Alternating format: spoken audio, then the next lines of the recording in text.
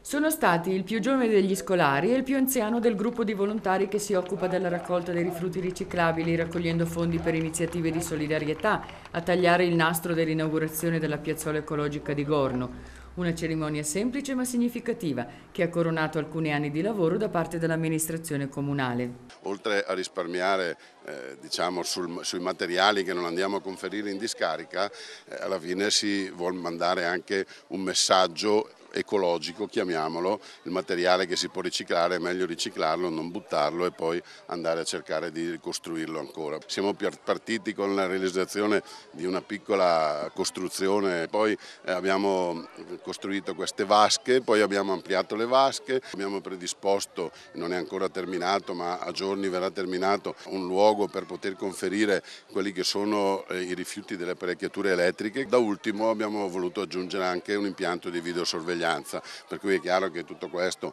ha portato un costo superiore alle 100.000 euro che è stato finanziato quasi tutto dal Comune di Gorno con un contributo da parte dell'amministrazione provinciale di Bergamo e un contributo anche che è stato erogato dal gruppo di raccolta di Gorno che ha voluto diciamo, fornire questo aiuto all'amministrazione. Durante il suo saluto ai presenti, il sindaco ha ribadito il senso profondo di questa iniziativa. La finalità è, è triplice, quella di eh, non conferire in discarica dei rifiuti, quella di educare anche per cui un discorso ecologico e poi alla fine anche una finalità che è quella di andare a finanziare delle attività sociali in Italia e all'estero e penso sia anche questo un messaggio positivo alla popolazione. La piazzola aprirà i battenti a partire dal mese di luglio.